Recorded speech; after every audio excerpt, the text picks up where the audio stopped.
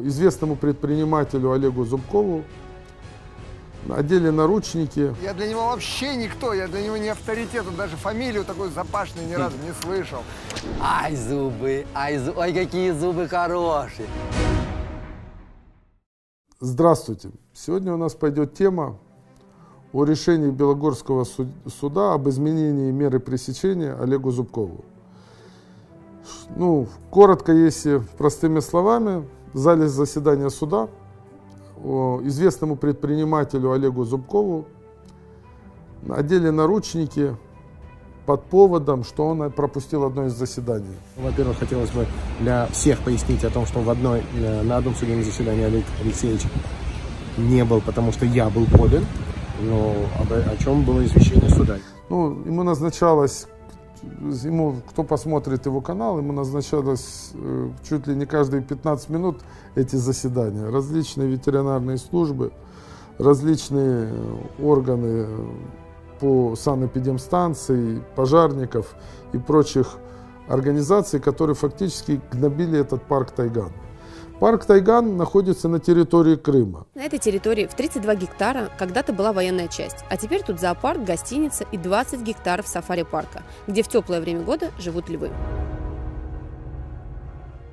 Создавался он еще на территории Украины. Ну, понятно, что в более свободной Украине была, так, была такая возможность э, создавать такие парки. В Российской Федерации с учетом бремени, коррумпированного времени, можно делать только возможность строить многоэтажки, создавать какие-то коррупционные схемы. К сожалению, то, с чем я столкнулся в Российской Федерации, это чудовищная коррупция, взяточничество. Вот, ничего не дается и не выделяется в интересах народа просто так, как это было при Украине. Поверьте, что ни за эту землю этого парка, ни за землю Ялтинского зоопарка я не заплатил ни одной копейки взяток. Никогда, никому. Но и думал, что я так проживу всю свою жизнь. Понятно, что такой парк на территории Крыма был лишним. 30 гектар э, хороших территорий, по которым могли уйти под застройку, мешали.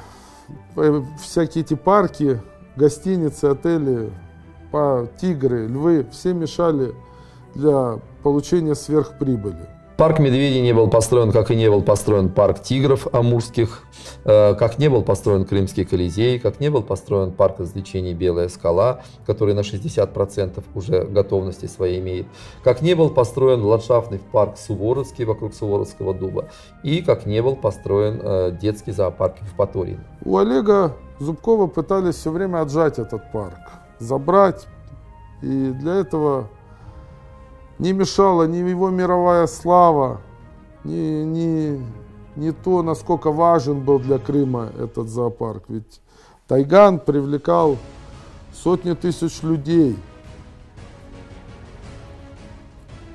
со всего мира к себе на территорию.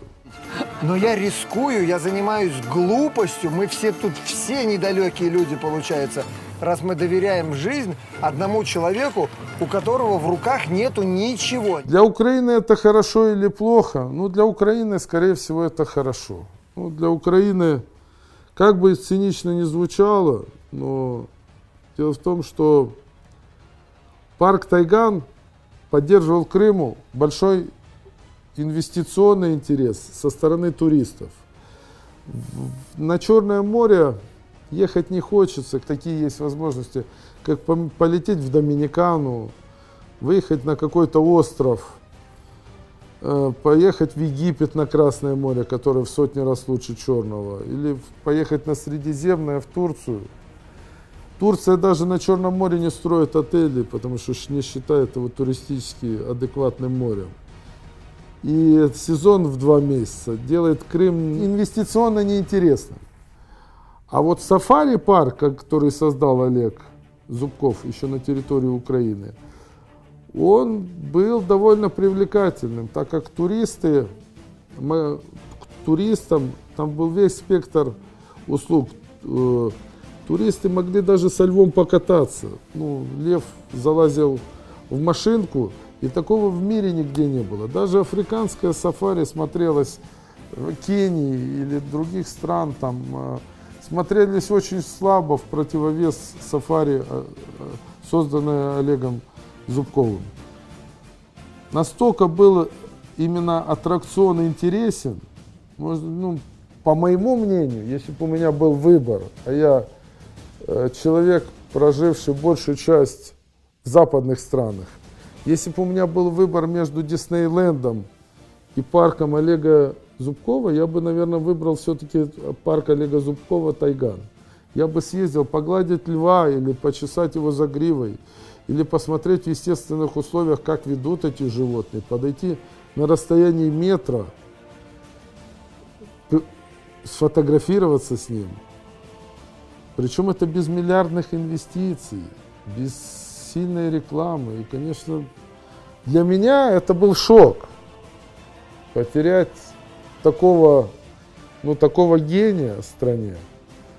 Даже если парк Тайган возродится, я думаю, что россияне будут ехать с каким-то чувством уже в этот парк – и поток, я думаю, уже не удастся нарастить.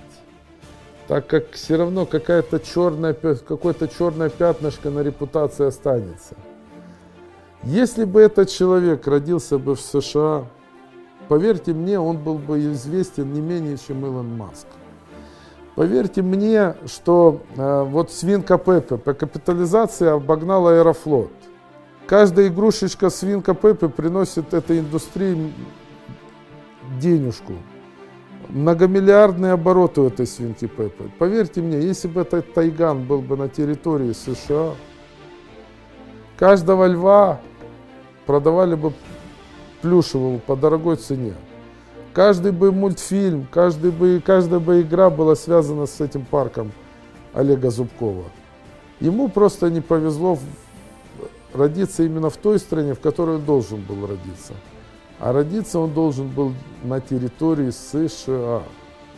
Поверьте мне, мне, он был бы уже миллиардером, знаменитым человеком. Никакие ветеринары, эти прокуратуры, полиции бы не бегали. Надеюсь, только одно, в одном. Сейчас идет изменение в Украине. Разгоняют всех этих утырков, ну, по менталитету схожие на российских, которые там ломают бизнес, уничтожают талантливых людей. Надеюсь, что у нас таких Олегов Зубковых не будет. У нас сейчас более-менее вменяемая ситуация последний год, ну последние полгода. Если есть возможность, обращаюсь к властям Украины – вы выдергиваете заложников, выдергиваете там, спасаете этих людей, которые там на территории Донецка.